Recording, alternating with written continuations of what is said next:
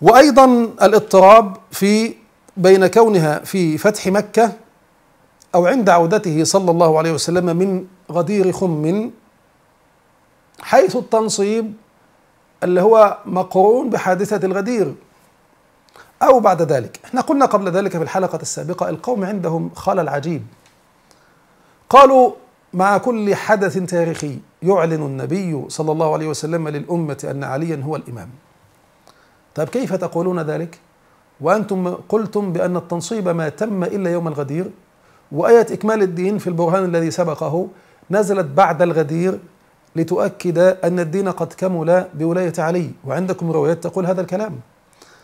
تقول اليوم أكملت لكم دينكم بولاية علي بن أبي طالب. شوف حجم التناقض الموجود. طيب إذا كان الدين اكتمل بولاية علي وتنصيبه يوم الغدير بعد حجة الوداع في طريق عودة النبي من مكة إلى المدينة. إذا كل الأدلة التي تسوقونها في إمامة علي أنها في غابر الأزمان وأنها في كذا وكذا غير صحيحة.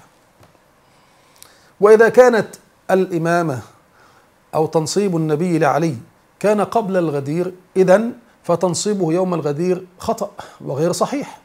أو على الأقل بداية التنصيب وآية إكمال الدين التي جاءت بعد حادثة الغدير كما تقولون خطأ. أيضا خطأ. فأنتم تقعون في تناقض عجيب. تقعون في تناقض عجيب. أيضا النجم إذا هوى. هل بدأ التنصيب حين سقوط هذا النجم في بيت علي؟ دعنا بقى من مسألة كيف يسقط هذا النجم وهو أكبر من الأرض. وأنا لما قرأت عن نجم الثريا هذا ونجم الزهرة وهو يبعد 600 مليون كيلو عن الأرض وحجمه وكذا ومواصفاته العظيمة كل ده خلاه على جنب. ولكن نتكلم في مسألة التناقض. ولذلك هذا الاختلاف الشديد الموجود في هذه الروايات يعني أنت تفهم منه أن هذه الروايات كلها وضعت ونسبت إلى الأئمة لمحاولة إثبات هذه العقيدة المنحرفة. ومن قال للنبي صلى الله عليه وسلم غويت فهو كافر والكفار لم يكن النبي صلى الله عليه وسلم يأمرهم بالفروع قبل الشهادتين والدخول في الإسلام كما قال شيخ الإسلام ابن تيمية رحمه الله تعالى ولهذا أيضا وجه.